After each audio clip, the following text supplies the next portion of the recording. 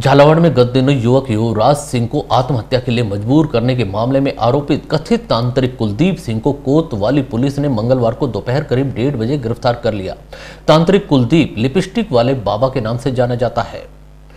Police उपाधीक्षक छगन सिंह राठौर ने बताया कि पुलिस ने थॉरलेन जाँच की है। सभी साक्ष्य एकत्रित किए हैं। इसमें कुलदीप सिंह द्वारा बच्चों की आँखों पर पट्टी बांधकर, कमरे में ले जाकर निर्वस्त्र कर अश्लील हरकतें करने की बातें सामने आई हैं। मृतक युवराज सिंह के साथ भी घटना वाले दिन मारपीट की गई।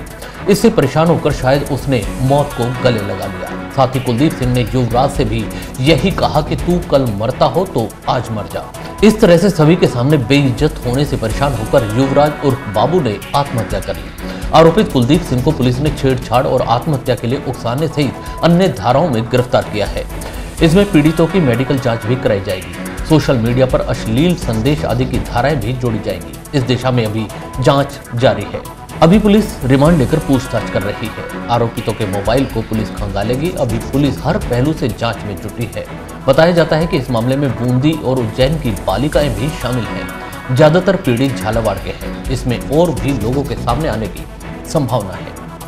कथित तौर पर आरोपित द्वारा प्रताड़ित करने पर झालावाड़ निवासी सोहन सिंह के पुत्र युवराज सिंह और बाबू ने 14 फरवरी को घर में ही फांसी लगाकर आत्महत्या कर ली थी। वहीं मृतक के पिता सोहन सिंह ने आरोप लगाया कि वह युवराज के लिए लड़कियाँ देखने जाते तो कुलदीप सिंह को पता चलने पर वह लड़कियों के परिजनों को भ्रमित करता था। तो मेरे पुत्र को भी शादी नहीं करने के लिए प्रेरित करता था। पुलिस ने 15 मार्च को आत्महत्या के लिए उकसाने के मामले में पाँच लोगों के खिलाफ मामला दर्ज किया था। फ़िलहाल पुलिस ने आरोपी को गिरफ़्तार कर लिया है और आगे पूछताछ की जा रही है।